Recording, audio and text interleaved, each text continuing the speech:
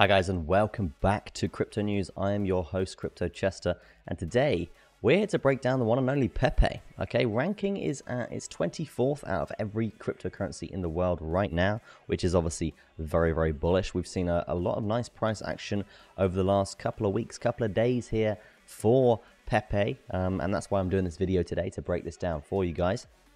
We're going to be looking at this from a uh, from a technical analysis perspective, we're going to go into depth, look at some new trades for this asset, and um, also look at potential price predictions of what we could see uh, for the next coming weeks and months or so. Okay, so without further ado, let's get straight into this video. If you guys could drop a little like, that would be amazing. You, the market cap right now is currently 4.11 billion with a B. Okay, so pretty good. Okay, it's not too bad. Comparing it to um, other meme coins in the space, if we just go to um, go to the ranking here and uh, obviously just looking at Bitcoin at around that sort of 67.9 level here, you can see Pepe is actually ranked third out of every meme coin out there right now, which is very bullish. Okay, it's pretty good.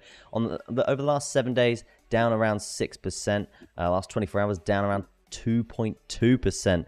Uh, pretty bad there. And over the last hour, down around 1%. Okay, so it's not been the best week for Pepe all in all, but but I know I said at the start of the video that we've had a good few days. We've had a good few spikes over the last few days, but mean, in terms of overall momentum, it's not been the best. But the last two, three weeks have been very, very, very clean and very nice for Pepe, and that's why it's now sat around a four billion dollar market cap in comparison to what it was before, sat around a, around a 3.2 and just hovering on that area for a long time. So let's get into the chart. Um, before we get into the chart, quickly, guys, I want to talk to you about a Pepe-based project, which we know they usually have pretty insane success here.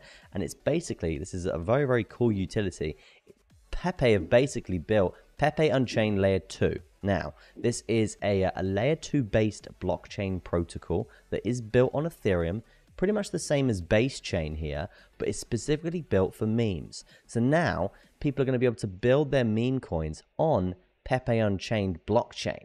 Okay, pretty goddamn bullish if you ask me. Now, if you look at the pre-sale, They've raised 22 point, nearly 22.3 million dollars. Okay, this is not a small project, guys. This is a big dog. Okay, this is this is potentially going to be a blue chip, a big billion dollar. Um, might even challenge Pepe, the actual um, the actual coin itself, because this actually has its own utility and its own blockchain, which is super interesting. They're even going to have their own dedicated blockchain explorer, like SolScan or like EtherScan. Okay, we can look into wallets and all that good stuff. The reason they've done this is because creates lower transaction fees and higher volume. It's going to be 100 times faster than Ethereum.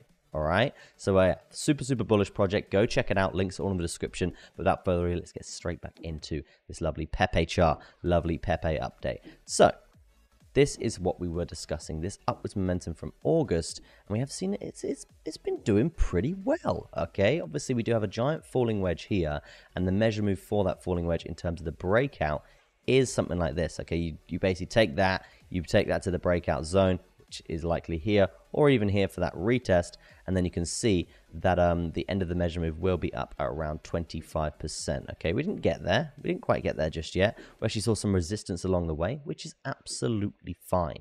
After exploding in the price for um for, for quite a long time here. It's three, four days, and then we've since, as I said, some really nice spikes recently.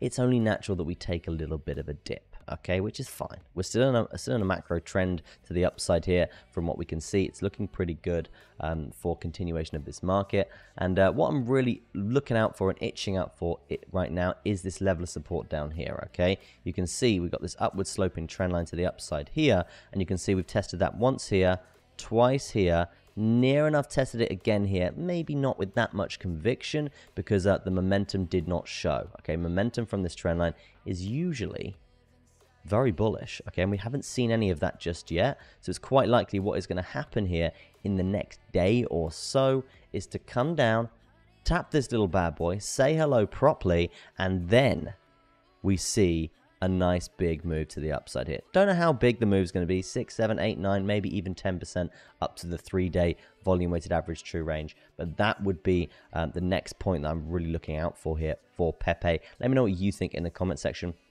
I'm really, really intrigued to know. Now, if we don't actually hold that level for support, which Personally, for me, I think that's quite unlikely. Then there is going to be another setup that we can be taking advantage of, okay? And that is basically you can see what I've just drawn in there, this uh, resistance on the top side, and that support on this side that I was talking about there. That's created a, a, a, rising wedge. Rising wedges, guys, they do tend to usually break to the downside. So if we are going to see a pullback coming into fruition here, there is going to be a measure move that will look actually something along the lines of this. And that will take us down to the Fibonacci 0.236, uh, which is another bullish level. Do you really want to be shorting this? I mean, it's a tricky short, guys, with, with the market, with how Bitcoin's behaving it's kind of quite unlikely that it is going to get there, right? So it's it's one of those one of those shorts where if you are going to get involved with it, you've got to be super super safe. You've got to stagger all your take profits at all of the relevant uh, potential bounce points here in terms of bullish momentum. As you can see, there's there's so many here. Um, so that's that'd be the first thing. Now the second thing, if you didn't want to get involved with this position, and it was it is just a bit too scary for you considering how bullish the market is. Trying to short this market is um. It's very, very ballsy if you ask me. What I would be going for instead would actually just be a long bounce, okay? And it, the likelihood of this happening is a little bit less likely because the short position has to actually play out first.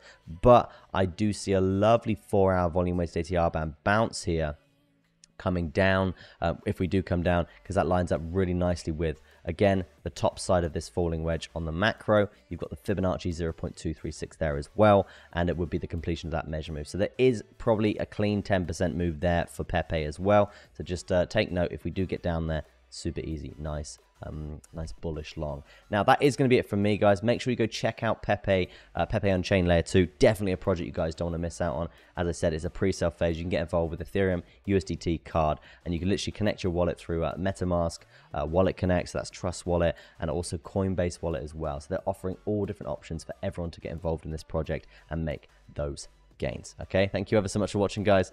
That's going to be it from me. Peace out, and I'll see you in the next one.